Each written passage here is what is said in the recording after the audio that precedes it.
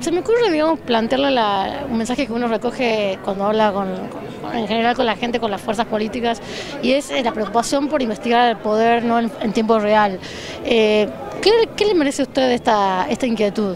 Eh, bueno, nosotros estamos totalmente de acuerdo. En primer lugar, lo que quiero decirles es que hay que tener un poco de memoria. La Corte Suprema siempre ha estado firme en esto, ¿no? aún en el gobierno anterior nosotros hemos tenido muchísimos fallos que pusieron límites, hemos tenido conflictos muy fuertes eh, sobre la independencia judicial, hemos dictado sentencias sobre casos de corrupción, hemos dictado muchas eh, acordadas sobre el tema de corrupción durante eh, la existencia del gobierno anterior. Es decir, en el caso de la Corte Suprema, nosotros siempre hemos pensado que un juez no puede cambiar sus opiniones de acuerdo al gobierno, sino de acuerdo a la ley y de acuerdo a la Constitución.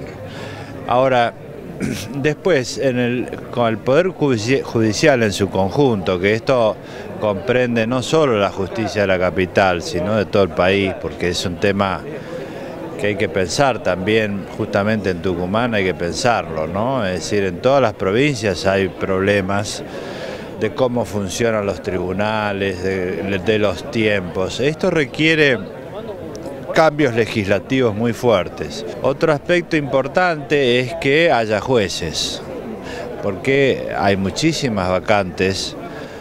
Eh, no se olvide que nosotros en los últimos 10 años venimos diciendo casi una constante que hay un 30% de vacantes en la justicia federal en todo el país. Por ejemplo, recién estábamos hablando previamente cómo hacer para que un caso que hay en la provincia de Salta puedan viajar desde Tucumán o de Catamarca. Hay jueces de Catamarca que atienden casos aquí, los de Tucumán tienen que ir a Salta, los de Salta a Jujuy.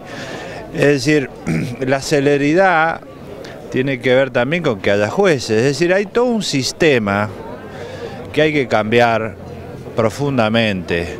En la designación de cuando hay una vacante, la designación del nuevo juez demora varios años, cinco seis años.